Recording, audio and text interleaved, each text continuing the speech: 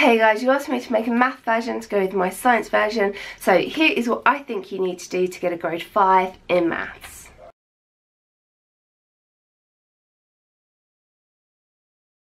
So, if you want to get a grade 5 in maths, what I think you really need to focus on is your core skills.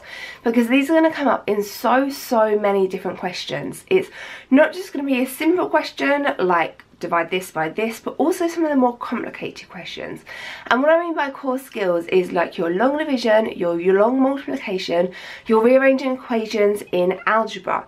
These are going to come up in so, so many places, in so, so many questions obviously on the non-calculator paper and on the calculator paper we need to focus on how to use our calculator properly because I can pretty much guarantee they're going to ask a question that looks simple but basically is checking whether you can type numbers into your calculator properly. But this skill comes up in so many different places. This is these skills are really important ones to focus on getting correct. Some of the questions, especially towards the end, are going to look really, really complicated and awful.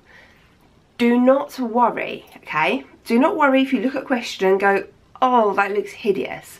What I want you to do is to get your highlighters out, to get your different colour pens out and try and break the question down into its simplest parts. So there's a trend having really, really wordy questions in maths papers. Just try and pick out the numbers, highlight the important numbers in your um, nice pretty colours and don't get too caught up in what all the words are saying, focus on the numbers. Try and turn the wordy question into a maths question. Or try and look at something big and pick out the small parts. If you have like a big um, angles question, write down everything you know.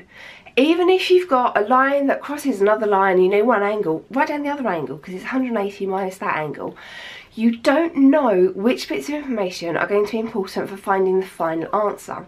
Sometimes starting at the end and working, um, trying to get the answer isn't necessarily the most helpful thing to do. Sometimes you should just start in a random place, write down everything you know, see what you come up with, and then the pathway to the end might make itself a lot more obvious.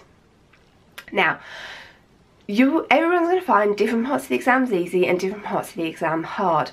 Do not think you have to do the paper in order.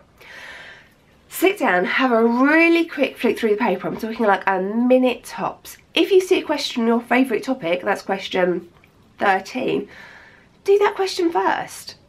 You, you don't have to do question one first. You know, question one is a long division question and you're kind of like, oh my god, I just can't do that. And then you spend five minutes trying to get one mark on question one.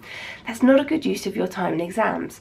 Whereas if you know question 13 is multiplying out brackets and you can do that really, really well, do that question first. You do not have to do the exam in order but I would really, really, really like you to have a fantastic go at trying every single question. Even if you can't get the answer, you still might be able to get some of the works marks for working out. Um, in the mark scheme, it's really, really clearly laid out for the examiners which marks you get for this bit. And you don't just get all the marks for the answer, there's going to be working steps in there as well. So even if you only manage to do like the first part of expanding out the brackets, you still might get some marks for that. So it's really, really worth trying every single question that you can. And don't forget, you and the examiner are the only people that are going to see the exam paper. So if you try something and get it wrong, well don't be embarrassed by that because you might be right. And the only other person that's going to see your exam paper is the examiner, who doesn't know who you are. So you've got nothing to be embarrassed about. And if you try something, you're convinced it's not the right answer, don't cross it out, just leave it. Unless you can come up with a better answer, just leave it on the paper.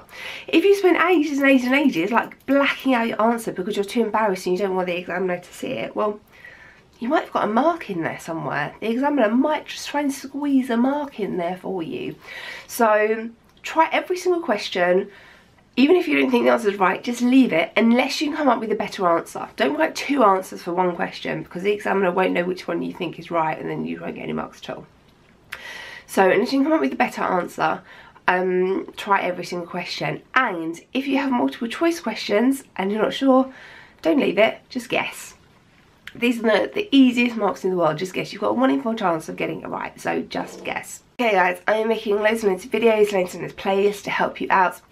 Go and check those out. Go and practice with the exam papers. Um, and good luck.